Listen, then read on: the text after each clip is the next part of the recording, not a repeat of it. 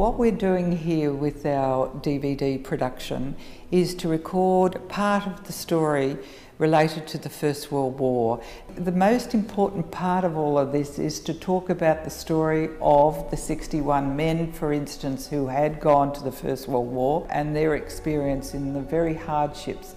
But what they'd gone from is a rural town, a country town, a town where everybody knew everybody else, and it was just so then they were so isolated in their different places where they actually had to operate in trenches. They saw incredible cruelty and the deaths of many of their mates.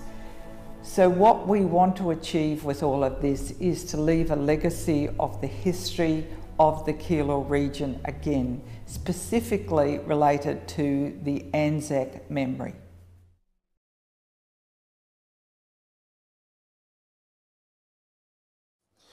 In Australia, the outbreak of World War I in 1914 was greeted with considerable enthusiasm, just as there had been a show of support for the Empire in the previously escalating conflict between the British Empire and the Boer republics of southern Africa, that is, the Boer War of 1899 to 1902 in the governments of the self-governing British colonies of Canada, New Zealand, Cape Colony and the six Australian colonies all offered men to participate in that conflict. The Australian contingent numbered over 16,000 people. Even before Britain declared war on Germany on the 4th of August 1914, the nation pledged its same support alongside other states of the British Empire and almost immediately began preparations to send forces overseas to participate in the conflict. The first World War I campaign that Australians were involved in was in German New Guinea after a hastily raised force known as the Australian Naval and Military Expeditionary Force was dispatched from Australia to seize German possessions in the Pacific in September 1914. At the same time, another expeditionary force initially consisting of 20,000 men and known as the 1st Australian Imperial Force, AIF, was raised for service overseas. The AIF departed Australia in November 1914 and after several delays due to the presence of German naval vessels in the Indian Ocean arrived in Egypt where they were initially used to defend the Suez Canal. In early 1915, however, it was decided to carry out an amphibious landing on the Gallipoli Peninsula with the goal of opening up a second front and securing the passage of the Dardanelles.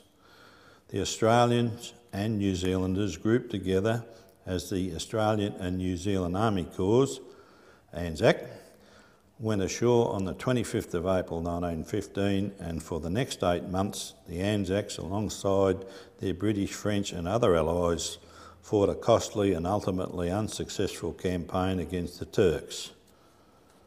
I had three uncles in that, for, in that uh, area. The Commonwealth Government pledged Australia's wholehearted support to Great Britain in the words of the opposition leader Andrew Fisher, who became Prime Minister one month after the war started, Australians will stand beside our own to help and defend her, the mother country, and to our last man and our last shilling. Most Australians greeted the news with great enthusiasm, and the volunteers rushed to enlist an exciting war which was expected to be over by Christmas. Thousands of men swamped the recruiting offices on the day they opened. Some sought combat, Others escaped from normal life. Some needed regular pay, while others would have enlisted just for nothing.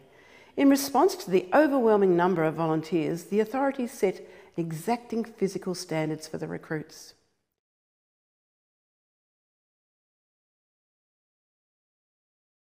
I'm a descendant of, uh, of David and Susan Milburn, the first, uh, uh, one of the first residents of Keilor, and uh, my memories of uh, their son Alf was that uh, uh, he was a very mechanical minded man.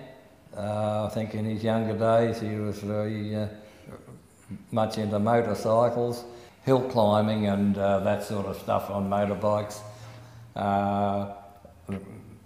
Milburns had a big steam engine at the time for pumping water. That was his, one of his main things, working on the steam engine. Yeah, very much into uh, mechanical things. Uh, after the Second World War, he introduced a, uh, a reversible disc plough that was converted from a horse-drawn plough, converted to be drawn behind a tractor. And it was his uh, uh, ingenuity, I think, that uh, got this all together. And also he pioneered the uh, introduction of tractors into Keilor. Well, with the, uh, there is a letter that he had written fr- from France in, I think, 1916 to his father, 10 pages, uh, outlining a lot of the activities that they were involved in over in France. And uh, he was uh, a runner, sending out messages to and delivering and sending out messages to the front line. And uh, this is uh, how he was uh, recommended by his peers for honour, and that's, I believe, how the medal came about. I don't know whether I should say this, but uh, during his time he, he was, was court-martialed, so he used to he used to like to tell me that and bring out the the necessary paperwork. But when my aunt gave me all the medals and the paperwork she had, because when he did this, she used to go really off that he should have been ashamed of himself. He told me it was for selling dirty petrol to the Yanks. and somehow, I think after he died, that court martial must have disappeared. I think she destroyed it. Yeah, so he, he talked more about that than he did about the medal, really. Okay.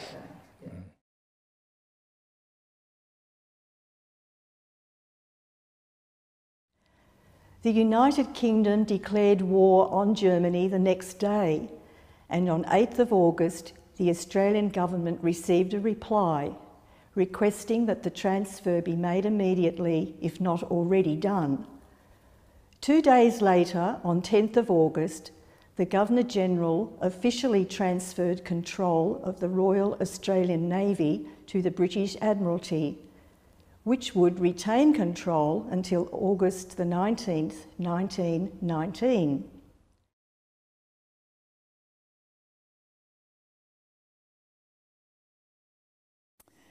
Tom enlisted from Keilor into the Australian uh, Infantry Force in 1916 and he left on the Orsova for overseas on the 1st of August.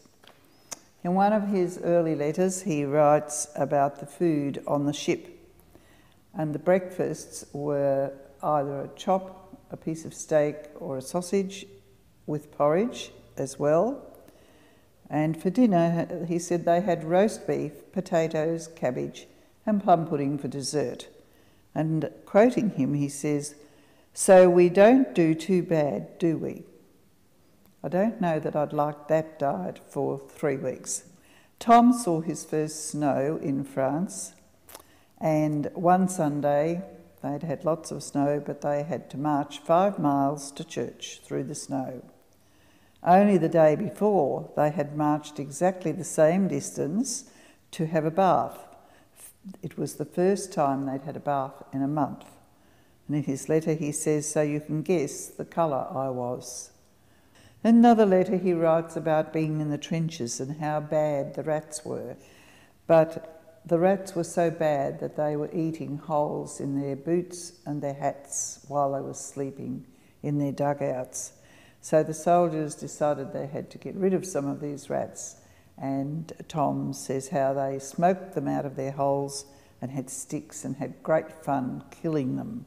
It created a little bit of sport. At least it may have reduced their number a little. In April 1917, Tom's battalion was being hard pressed at Villers-Bretonneux, and a friend who wrote to let the family know who'd been there when it happened, one of the machine guns had been put out of action, the crew had been put out of action. Tom, Tom tried to get to this machine gun to get it working again, but unfortunately, a few paces from the gun, a sniper's bullet killed him. He is buried in the Adelaide Cemetery at Villers Bretonneux. He was just 21.